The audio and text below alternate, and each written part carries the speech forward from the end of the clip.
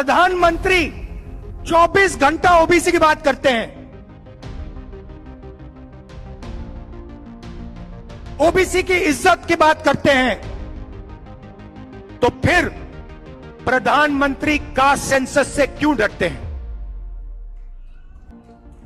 प्रधानमंत्री जी, अगले भाषण में आप हिंदुस्तान को बता दीजिए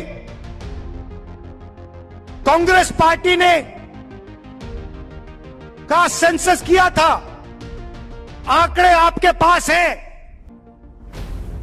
उन आंकड़ों को आप हिंदुस्तान के सामने रख दीजिए, हिंदुस्तान की जनता को दिखा दीजिए। और अगला जो सेंसस है, उसको आप कास्ट बेसिस पे कीजिए। ओबीसी का अपमान मत कीजिए। ओबीसी को धोखा मत दीजिए।